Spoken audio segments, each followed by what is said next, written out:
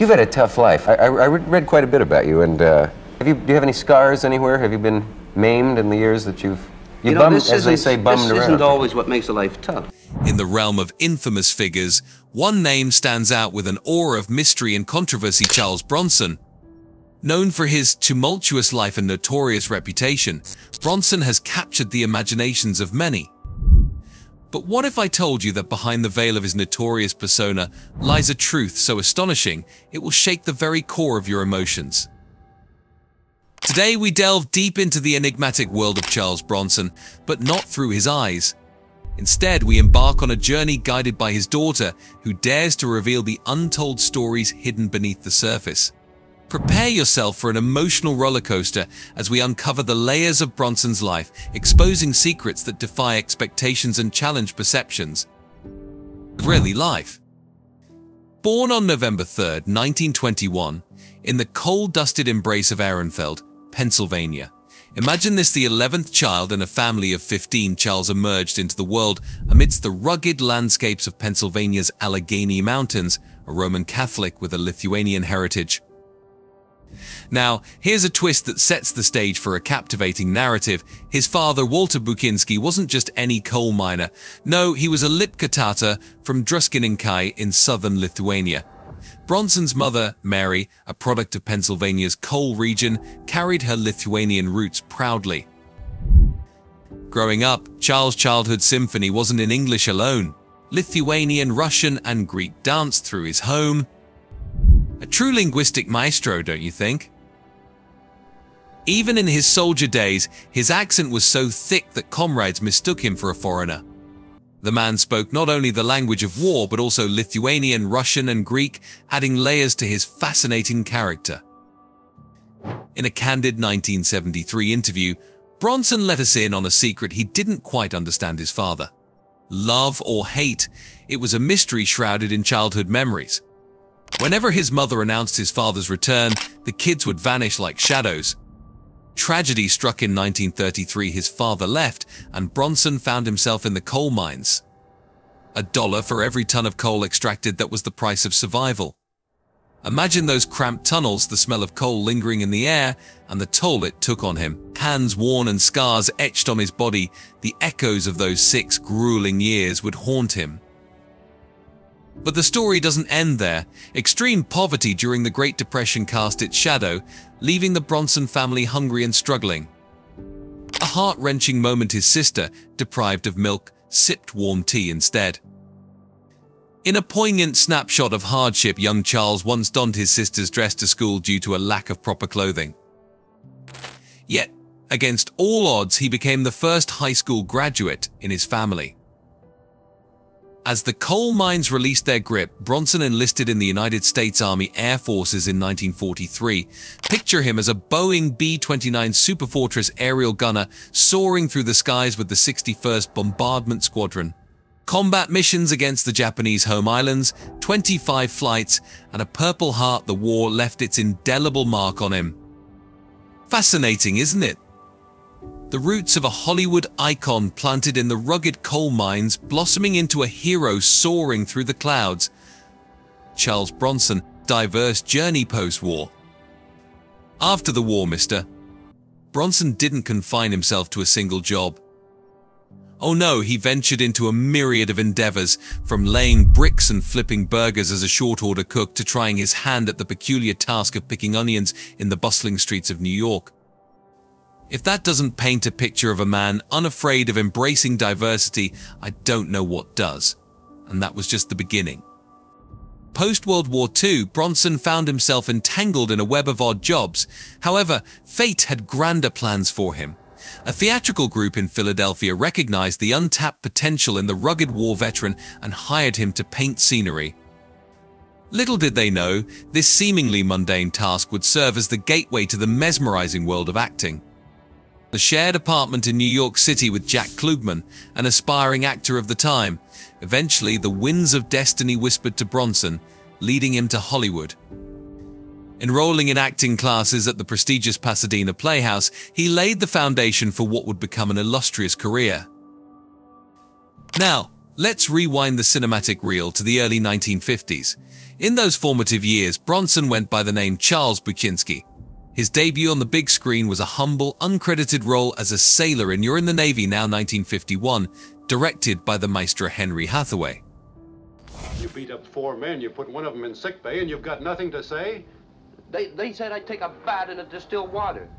Fast forward to 1953, and Bronson showcased his versatility in House of Wax playing Igor alongside the legendary Vincent Price. To prepare for his role as a mute character, he even took a course in sign language. The film's success reached the fourth spot in the highest box office that year, making a whopping $23 million. In 1954, amidst the House Un-American Activities Committee proceedings, a significant change occurred.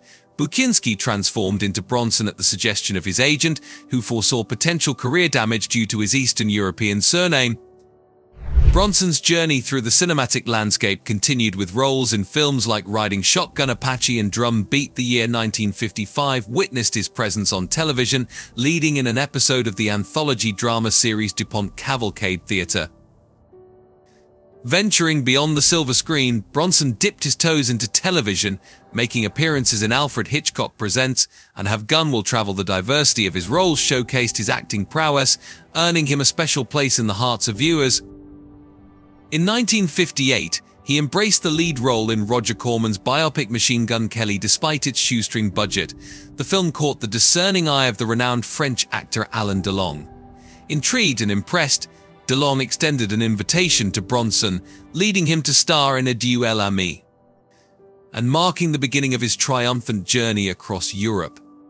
Marriages and family bonds. Charles's journey in love began with his first marriage to Harriet Tendler, a fellow aspiring actor he met back in Philadelphia.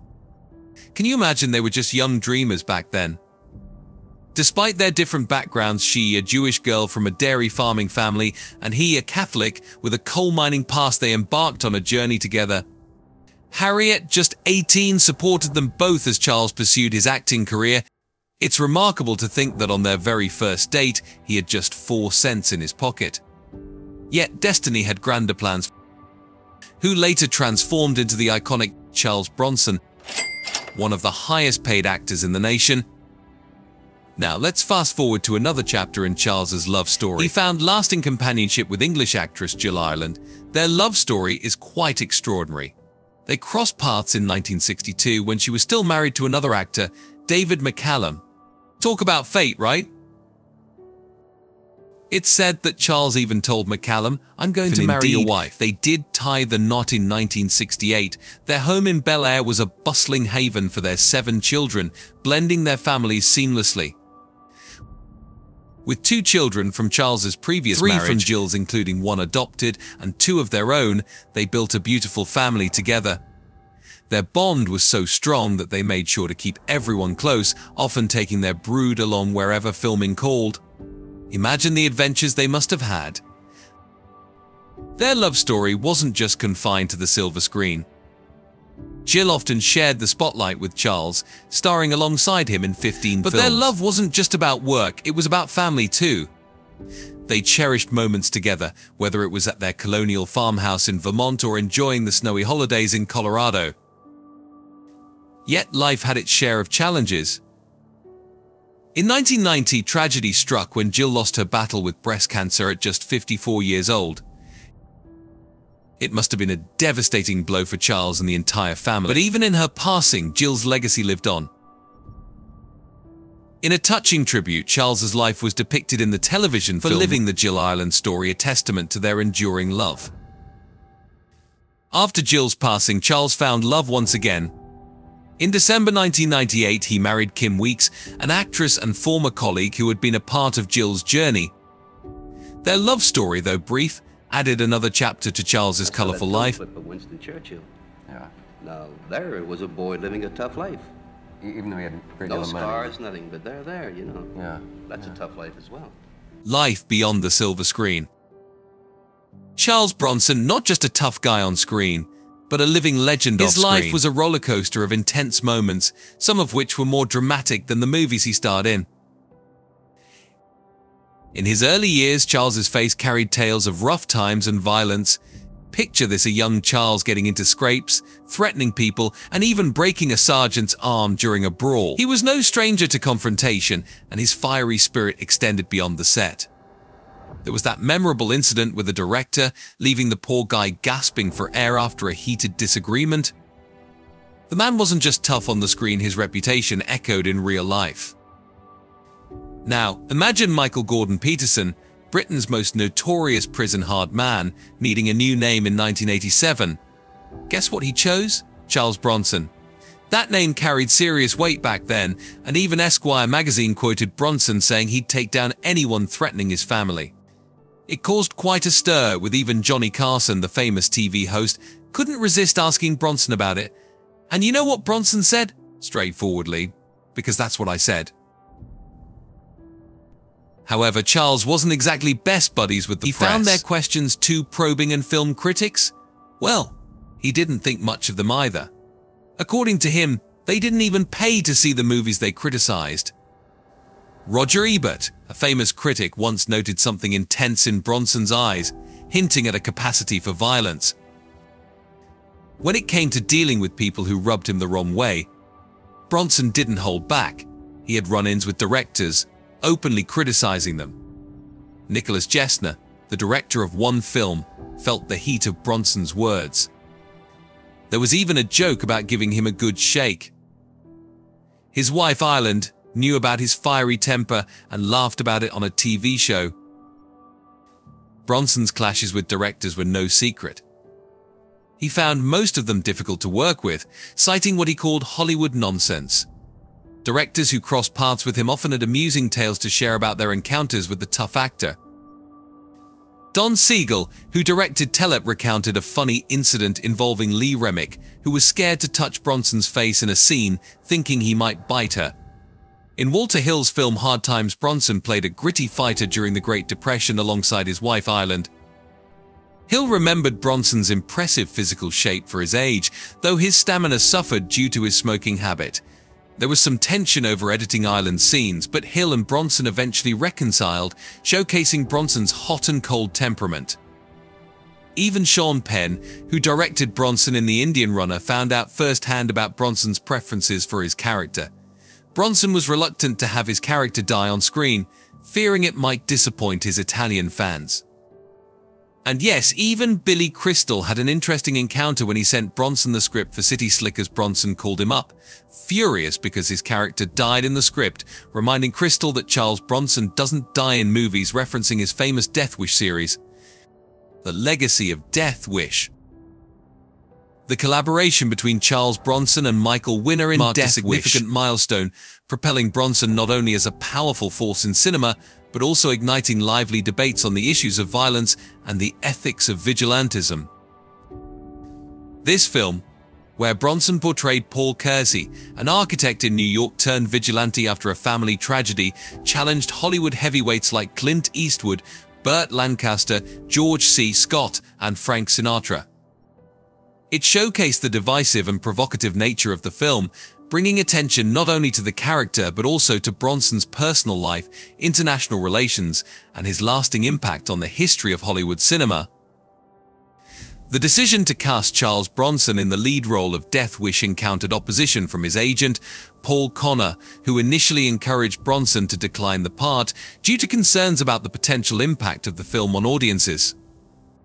Despite ethical considerations, Bronson felt conflicted about the character, initially thinking someone like Dustin Hoffman might be more suitable. Here's where Michael Winner, the director of Death Wish, played a critical role in convincing Bronson to accept the challenging role. Winner continuously reassured Bronson of the project's value, even revealing that Bronson was ready to take on the role not just for the film but also for the opportunity to embody the vigilante spirit. When asked if he wanted to be part of the film, Bronson responded with a sardonic statement. However, Winner redirected his attention towards the film, affirming Bronson's satisfaction with the role through a statement full of humor and cynicism. Death Wish, released on July 24, 1974, was not just a box office success, earning $22 million against a production budget of only $3.7 million.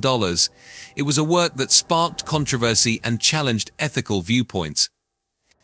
Brian Garfield, the author of the 1972 book on which the movie was based, expressed concern over choosing Bronson for the role, believing that his tough guy image would immediately suggest the use of violence. Garfield also voiced worries about the film's potential to encourage vigilantism in real life. Initially envisioning Death Wish, under the direction of Sidney Lumet with Jack Lemmon in the lead role, Garfield's concerns were dismissed by Winner, who accused him of hypocrisy, pointing out that a story about extreme vigilantism would naturally be portrayed through a violent film. An artist. Back in 1990, tragedy struck when Bronson's beloved wife, Jill Ireland, succumbed to cancer. Heartbreakingly, her memoirs were transformed into a film, with Jill Clayburgh portraying Ireland and Lance Henriksen stepping into the shoes of Bronson himself. Now, you'd assume most would be touched by such a tribute, right? Well, not Bronson. He was downright upset about it, even contemplating taking those filmmakers to court.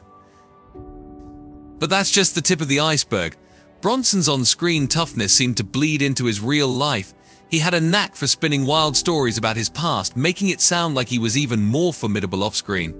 Tales of fights and knife-throwing prowess echoed through the air. However, as it turns out, those stories weren't exactly true. It seems he was just adding a dash of spice to his own legend, as he never ended up behind bars. People who knew him off-screen insisted he was nothing like the violent characters he portrayed in movies. Now, let's talk about some quirks that added layers to the enigma that was Charles Bronson. Despite his tough exterior, Bronson had an interesting habit he never shook hands with people. Some chalked it up to arrogance, but the reality was quite different. Bronson was actually scared of getting sick, avoiding handshakes to steer clear of germs. Some even speculated he might have had a touch of OCD, but that's just another assumption. But that's not the end of the tale. Bronson harbored another fear that clung to him throughout his day's fire. It influenced how he lived, especially during the shooting of Death Wish in 74. Bronson made sure to stay in hotels with rooms no higher than the second floor, all because he was dead set on ensuring everyone could escape safely in case of a fire. Quite a sensitive artist, wouldn't you say? Surprisingly, Bronson was more than just the tough guy we saw on screen. He had his worries, just like anyone else. Behind the scenes, he was a lover of art, finding solace in painting and sculpting in his spare time. In fact, he preferred discussing his paintings over his acting in interviews. Even more fascinating, he painted under his real name, Binsky, to keep his identity a secret. And guess what? His artwork sold well on its own merit, without the fame attached. Uh, I know my grandfather used to do it, and I have an uncle who used to ride what they call blind baggage. Uh, do you know what blind baggage is from hooking? And uh, but but every third person you hear of doing it either actually had leg cut off or you know fell between cars or something. So It's a risky not thing. a good idea, boys and girls. What we're saying. We used to jump on freights from standing on a bridge that went over a river. Now, let's shed some light on Bronson's health struggles. At one point, he needed a new hip, and eventually he made the tough decision to retire from acting due to his declining health. In 2003, at the age of 81, Bronson left this world, battling problems with breathing and lung cancer. Despite his health battles, Bronson was a family man at heart. He had multiple children, including Zuleika Bronson, Tony Bronson, Susanna Bronson, and Katrina Holden Bronson. However, there's an interesting twist to this tale. Katrina, although part of the Bronson clan, confirmed that she was adopted and not Bronson's biological daughter. Nevertheless, she found success as a film director, carving her own path in the industry. But let's talk about something that truly touches the heart. Amidst his wealth and fame, the most precious legacy Bronson left behind was a painting called Scoop Town. This painting, cherished by Harriet, was a memento of Bronson's past that held immense sentimental value. Despite his tough exterior, Bronson was a dedicated family man, raising not only his biological children, but also embracing stepchildren from his second marriage. Katrina, his adopted daughter, found her place in the Bronson family and pursued a career in acting and filmmaking, following in her father's footsteps. In August 2003, the world bid farewell to Charles Bronson, an icon of toughness on screen. But let's not forget he was much more than the characters he portrayed. His legacy as a devoted family man and a multifaceted individual will always be remembered. Share your thoughts in the comments and ensure you subscribe for more captivating video updates.